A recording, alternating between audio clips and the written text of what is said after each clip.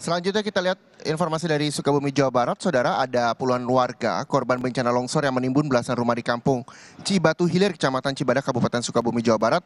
Hingga saat ini masih bertahan di pengungsian. Sementara dari data yang didapat dari BPBD Kabupaten Sukabumi, jumlah rumah yang rusak akibat longsor bertambah. Warga yang rumahnya terancam longsor memilih tetap berada di pengungsian bersama warga yang rumahnya terdampak longsor karena khawatir terjadi longsor susulan. Saat ini warga sangat membutuhkan obat-obatan. Data BPBD Kabupaten Sukabumi, rumah rusak dan tertimbun longsor bertambah satu menjadi 13 rumah. Selain itu, enam rumah berada di zona merah dan sebanyak 58 rumah terancam oleh longsor susulan.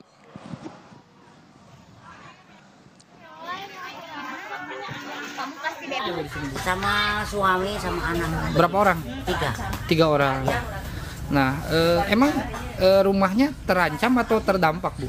terancam Terancam. Dekat berarti iya longsoran. deket Nah, kenapa? Emang eh, takut gitu atau di rumah atau seperti apa? Bu? iya takut takutnya malam kalau hujan Hmm. itu ta- ta- takutnya longsor lagi, Longsor lagi. Nah, makanya di sini Adapun data yang terupdate hari ini, hari Jumat tanggal 26 Januari 2024, eh, ada penambahan dari kemarin kita eh, yang rusak berat ya dari 12 bertambah satu rumah eh, atas nama Bapak Haji Dadun ya. Jadi eh, update data hari ini hari Jumat itu jadi 13. 13 rumah. 13 unit rumah. Dan kondisi terkini terkait dengan longsor di Sukabumi, Jawa Barat, kita tanyakan ke rekan jurnalis Kompas TV, ada Insan Maulana di Cibatu Hilir, Sukabumi, Jawa Barat. Insan, selamat pagi.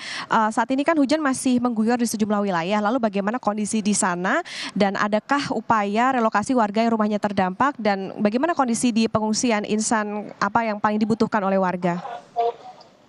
Ya, terima kasih Okta dan juga saudara. Eh, tepat eh, saya berdiri saat ini, eh, saya berada di lokasi titik longsor yang saat itu terjadi dan menimbun 13 rumah.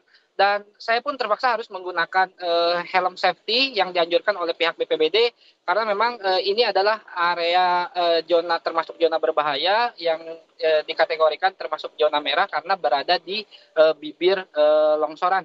Dan eh, memang eh, hingga saat ini berdasarkan data BPBD ada 13 rumah yang tertimbun, yang satu rumah salah satunya adalah eh, tambahan yang sebelumnya adalah 12 rumah karena ada longsoran sekitar satu meter sehingga menimbun pada satu rumah. Dan eh, warga eh, yang saat ini baik yang terdampak maupun eh, yang terancam saat ini mengungsi di lokasi pengungsian yang didirikan oleh eh, Kementerian Sosial eh, di mana berdasarkan data BPBD sementara ada 79 jiwa yang saat ini mengungsi di eh, pengungsian Kementerian Sosial dan sisanya ada puluhan eh, warga lain yang mengungsi di rumah sanak saudaranya. Di mana eh, pengungsian tersebut diisi oleh orang yang eh, terdampak dan juga yang terancam. Eh, termasuk salah satu yang terancam eh, mereka menginginkan mengungsi karena takut akan eh, bencana atau bencana longsor susulan sehingga mereka lebih memilih di tempat aman. Dan memang saat ini yang dibutuhkan oleh warga yaitu eh, berupa obat-obatan eh, fasilitas tempat eh, fasilitas tidur dan juga eh, alat mandi dan juga pakaian.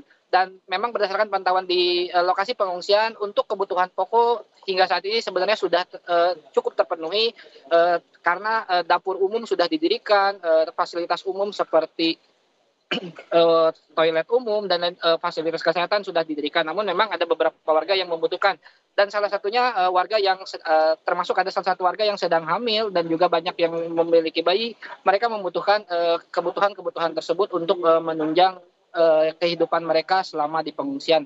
Dan hingga saat ini lokasi eh, yang saat ini saya berdiri adalah lokasi eh, tempat kejadian longsor di mana eh, di atas tebing sekitar 8 meter menimbun 13 rumah yang saat ini belum juga eh, dievakuasi dan belum juga direlokasi. Karena apa? Berdasarkan informasi dari BPBD, BPBD masih eh, menunggu kajian dari PPMBG untuk eh, mengetahui apakah lokasi ini harus direlokasi ataupun tidak sehingga nanti akan disimpulkan untuk dirapatkan eh, bersama Pemda setempat warga yang terdampak ataupun yang terancam akan direlokasi atau tidak. Dan hingga saat ini memang ada 13 rumah yang tertimbun pun eh, belum dievakuasi namun eh, dijaga oleh eh, para eh, relawan kebencanaan. Saya akan mengajak Anda untuk eh, melihat point of view di kamera eh, meng- eh, untuk eh, melihat kondisi lokasi eh, terkini di eh, lokasi tempat eh, titik eh, longsor. Dan terlihat di atas tebing sana itu adalah titik longsor atau mungkin bisa disebut mahkota longsor eh, yang awalnya terjadi dan terdapat satu rumah di mana di atas tersebut sebenarnya adalah rumah perumahan yang memang tidak terisi sudah lama. Dan kejadian waktu longsor tersebut satu rumah eh, hancur eh, dan tanah yang ada di perumahan tersebut menimbun ke rumah warga yang ada di bawahnya. Dan di sekitar lokasi ini juga terlihat ada sejumlah rumah warga di bibir eh, longsoran ini masih berdiri dan ini adalah rumah-rumah yang termasuk ke dalam eh, rumah zona merah yang saat ini tidak dihuni oleh warga yang warganya eh, lebih memilih ke pengungsian. Dan kita lihat ke sebelah kanan yang tepat ada di bawahnya itu ada satu rumah yang menahan eh, tumpukan tanah tersebut di mana di depan rumah tersebut adalah eh, jalan utama dari eh, kampung ini. Dan memang di pinggir saya tempat saya berdiri ini ada ada satu rumah lagi yang saat ini memang masuk ke dalam eh, zona merah yang termasuk ke dalam terancam, sangat terancam ketika longsoran eh, dikhawatirkan terjadi eh, menjadi susulan dan memang rumah ini pun saat ini dijaga dan digunakan oleh petugas BPBD untuk menjadi posko pantauan dari lokasi eh, longsoran. Dan memang terlihat tumpukan tanah yang saat ini eh, masih belum juga dievakuasi oleh petugas. Dan sebenarnya di pinggir tumpukan tanah ini terdapat sebuah saluran air yang sebelumnya saluran air ini tertutup oleh tanah longsor sehingga air tersebut eh, rembes dan eh, dikhawatirkan akan eh, menjadi eh, dampak jadi longsor penyebab jadi longsor susulan dan kemarin jalur ini tertutup dan sekarang sudah terbuka oleh eh, relawan kebencanaan dibuka sehingga air tersebut mengalir ke sungai yang ada di bawahnya dan menghindari da- untuk rembesan di lokasi longsoran. Ya, hingga saat ini memang eh, lokasi ini masih menjadi pantauan terus eh, pihak eh, terkait yaitu BPBD, PPMG, PPMBG yang saat ini pihak BPBD pun belum bisa memutuskan kapan ini akan dievakuasi dan apakah akan dijadikan relokasi atau tidak.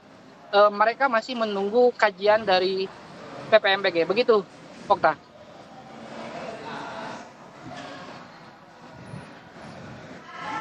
Melaporkan dari Cibatu Hilir, Sukabumi, Jawa Barat, Jurnalis Kompas TV, Insan Maulana. Terima kasih Insan.